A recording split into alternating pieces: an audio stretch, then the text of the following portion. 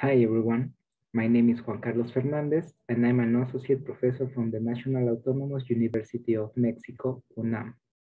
First, I would like to thank Hot Jolie and Fabian Rock for giving me the opportunity of participating in this wonderful workshop, Geometric Analysis, Past, Present, and Future.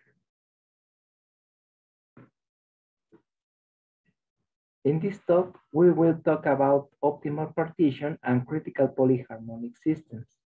This has been a joint work with Monica Clapp and Alberto Saldaña, and recently with Oscar Palmas and Jonathan Torres, all of them from UNAM, Mexico.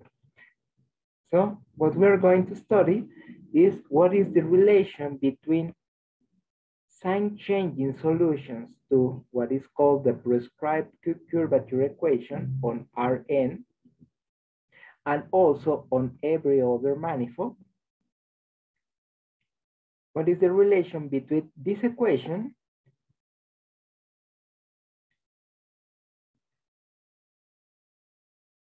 the solutions to some weakly coupled systems of Q-curvature equations. These are Q-curvature uh, system of Q-curvature equations with some um, critical exponent coupled terms and also we are going to study what is the relation of all of this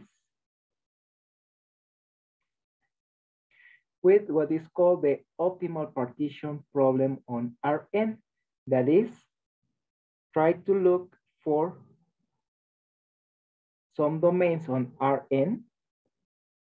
This guy, this guy, this guy, this guy, and this guy.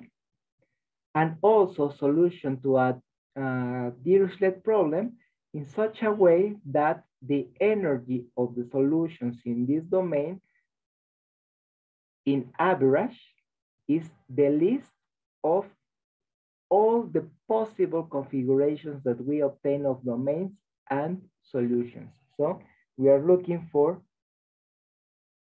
a partition of Rn in such a way that this partition is better than any other partition that we can give.